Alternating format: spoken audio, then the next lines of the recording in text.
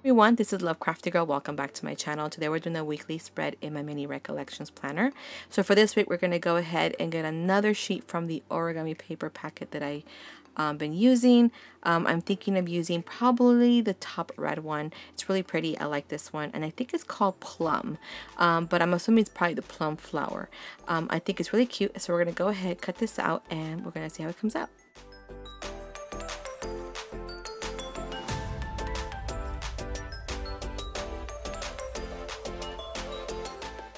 So I'm going to go ahead and start placing my paper to the page. Now, one thing I wanted to clarify because um, the name of the title to this planner spread is called Plum. Um, and the reason for that is because I actually looked up the name for this particular design.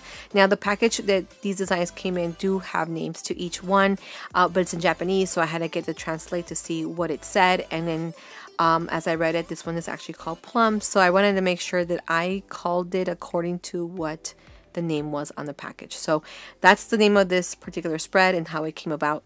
Now, of course, I would have called it the red flower, but it's a good thing I didn't because I would have not wanted to do something that's not really what it is. Now, for washi tape, I really wanted to use black all around and in the middle.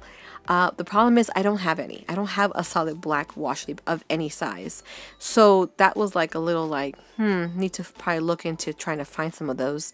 Um, but so I decided to go with red. Now, I did red for the middle.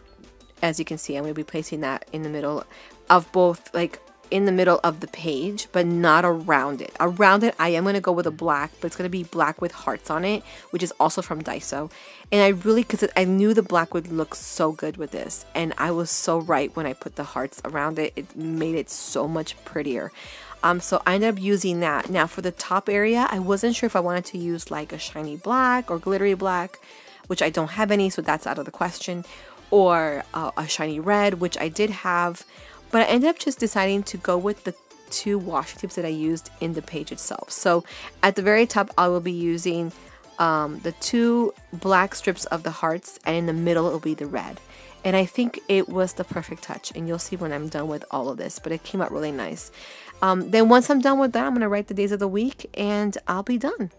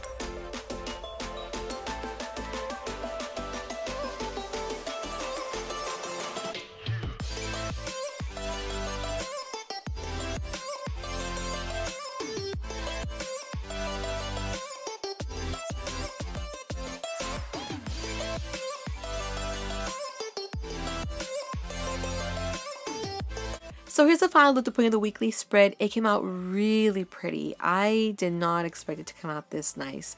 Now, the washi tape of the hearts, I was actually looking for solid black and I don't have any. So I went with the heart one. And this is actually from Daiso as well.